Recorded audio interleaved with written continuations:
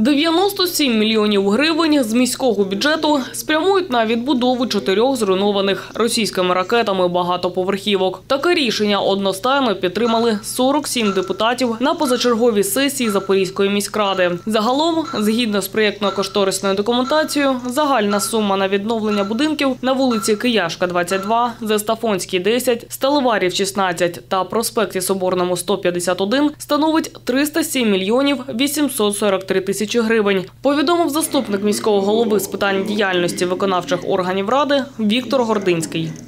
Що стосується джерел фінансування, да, сьогодні чули, що дійсно міський бюджет е, таке навантаження не потягне самостійно, тому ми вже, вже домовляємося з е, агенцією державною по відновленню.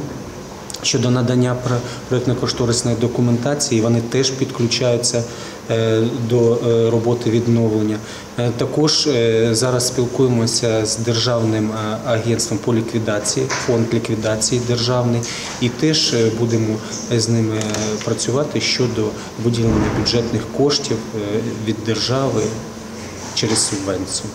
Також під час сесії депутати внесли зміни до програми надання фінансової допомоги мешканцям міста, житло яких постраждало внаслідок збройної агресії Росії. Зокрема, відтепер її зможуть отримати і ті, хто винаймав помешкання.